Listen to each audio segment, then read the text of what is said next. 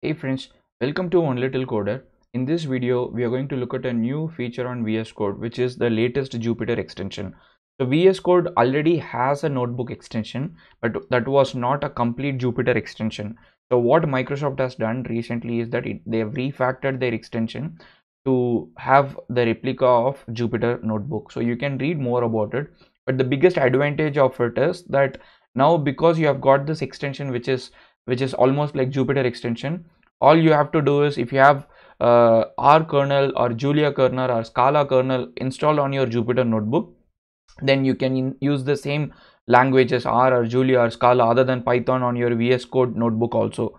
So the previous case you can use only Python on Jupyter notebook on VS Code but right right now if you have uh, the latest extension installed then you can also use any other languages for which the kernels you have already installed on your machine. So this is a great thing for a lot of developers who you who do who use multiple languages. For example now in this uh, tutorial we are going to look at how to install an R kernel. But before we move on if you have never used Jupyter notebook on VS Code I've already made a separate video quite some time back.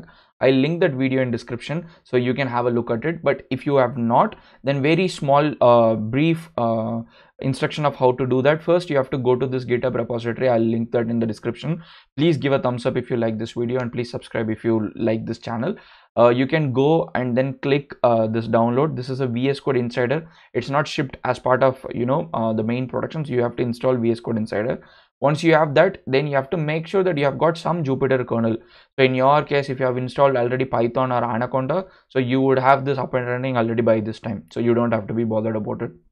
The third step is you have to install the jupyter extension of for vs code. So that is quite simple.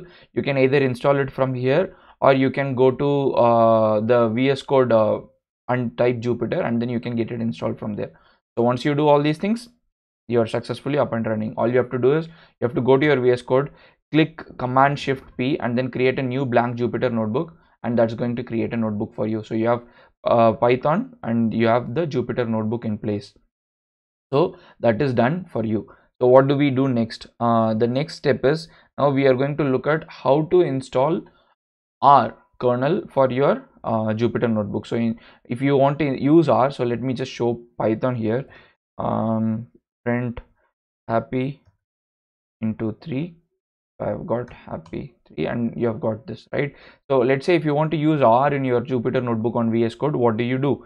So the step is simple. So first main thing is you have to make sure that you have got R on your machine.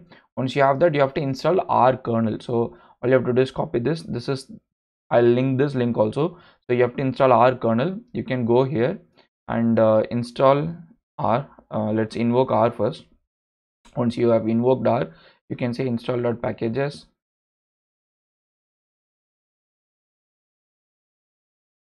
ir kernel small.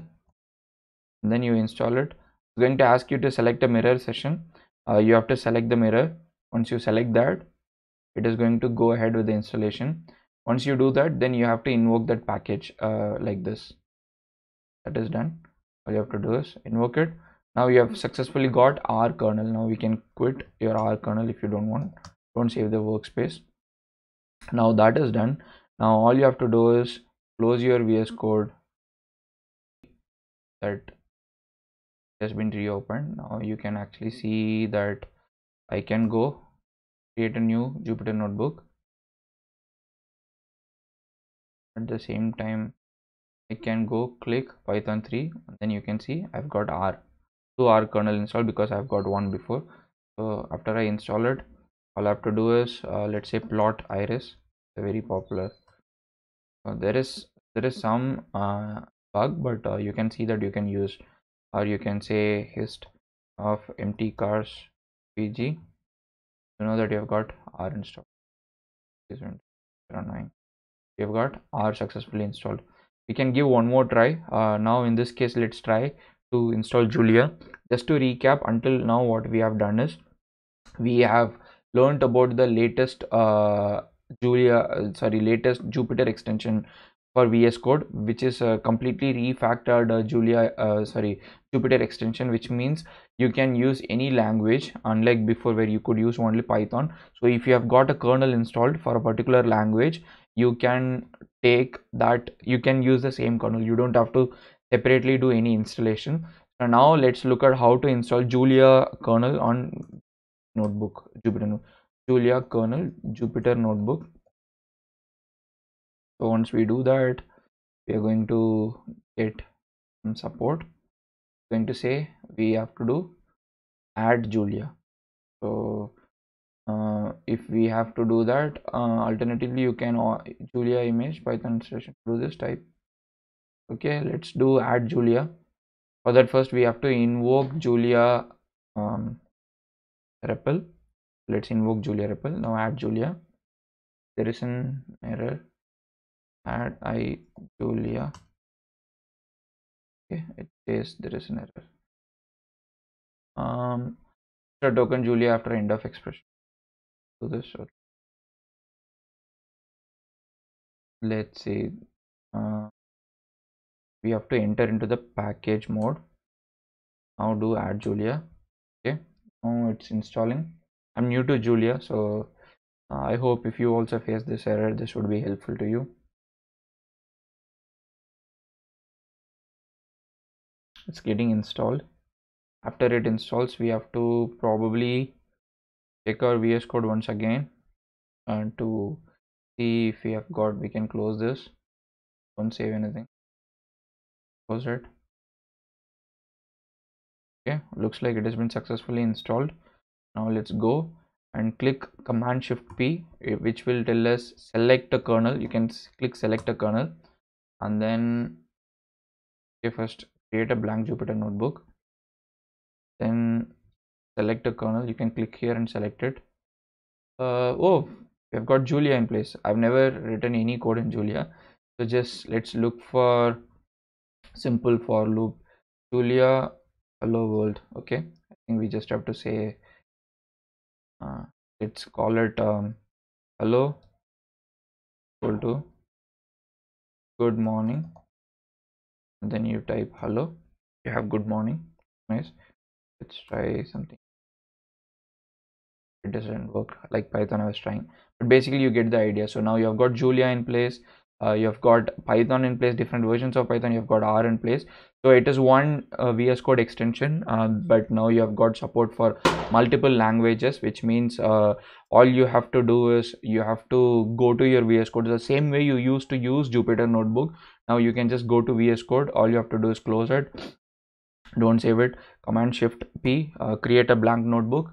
And uh, once you create a blank notebook you can select whatever kernel that you want you select the kernel that you like and then you can start write your code. Uh, so let's say in my case if i want r then i can click r then i can just basically say r and um, range. Okay i think i'm getting confused between multiple languages. Uh,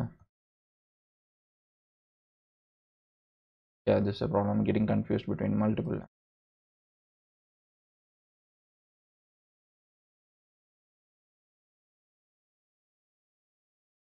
so I have. So ignore this error. I think this is an error because it's a new uh, extension. There is some error uh, that is um, but you can just ignore it. As you move down uh, it wouldn't uh, have that error in place. So you can just ignore that error and move on so basically uh, what we have seen a quick overview is that we learned about the new jupyter extension for vs code. And uh, we also learned what is the biggest change. The biggest change is that now you can actually use any language for which you have got uh, a kernel installed on jupyter. And we also learned how to install a jupyter extension for vs code. If you have never done that please don't worry. I've got a video. I can link that video. And after that we also learned how to install R kernel on jupyter notebook and also we saw a demo of how we used R and then we also installed Julia kernel uh, for installing R. So I hope this video was helpful.